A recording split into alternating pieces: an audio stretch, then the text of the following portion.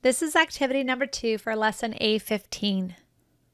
In this activity, you will need the assembled Raspberry Pi setup from the previous activities. Now in this activity, you will write a program that will ask a user for the year they were born and if their birthday has occurred yet this year. The program will then calculate the user's age at the end of this year and will subtract a year if their birthday has not yet occurred. The program will then display their current age in a single print statement. First, go ahead and ask the user for the year they were born and store it as a variable called year.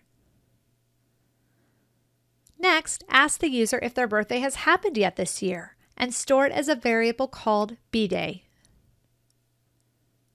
Now, convert the year from a string to an integer using the int command and store it as a variable called year int.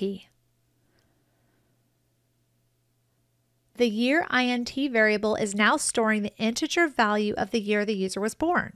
You can use this value for math purposes. Subtract that year from the current year and store the result as a variable called age. The age value is currently the user's age at the end of the year. If their birthday has not yet occurred, then they will be a year younger than the age value. Use an if condition to see if the value of bday is equal to n and if so, subtract 1 from the value of the age. Remember to end the if statement with a colon and to indent the code to be executed by the if statement. If the user answered n, then one year will be subtracted from the value of age.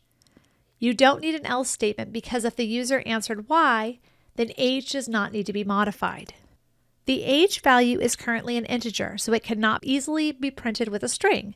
Convert age to its string equivalent using the str command and use a variable called agestr to store the string value.